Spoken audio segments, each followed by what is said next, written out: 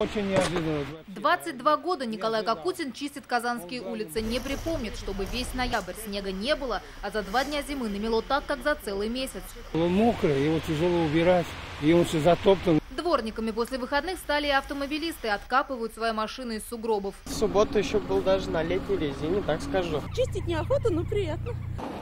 23 миллиметра осадков внесли свои коррективы в работу дорожных служб республики. На федеральные трассы вышли 342 единицы спецтехники. На затяжных подъемах организовано круглосуточное дежурство дорожных машин. На снегоплавильный пункт из городских дорог вывезено 3,5 тысячи тонн снега. В целом на сегодня основные магистральные дороги находятся в удовлетворительном состоянии. Гололеда не допущено. За выходные замело и улицы набережных Челнов. Для борьбы с гололедом в городе закупили 500 тонн технической соли и 1000 тонн речного песка.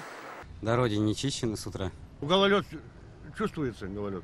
Нелетной стала погода из Москвы в Казань и набережные Челны. Из-за плохих метеоусловий задержаны десятки рейсов.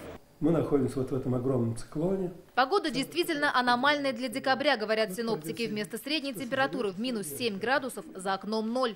С Атлантики идут к нам циклоны. Они всегда теплые, с океана более теплый воздух приходит. Вот он приносит нам не только снег, но и, и дождь. В ближайшие дни осадки не прекратятся. Ожидаются метель, ледяной дождь, гололед, туман и ветер до 20 метров в секунду. Ожидать, что настоящая зима наступит моментально, не стоит, говорят метеорологи. Холодать будет постепенно. Средняя температура в декабре составит 9 градусов. Будут обильные осадки. Так что новогодние праздники точно не будут бесснежными. Анна Городнова, Ренат Сафин, Ильшат Аюпов, Данил Филатов, ТНВ, Казань, Набережные Челны.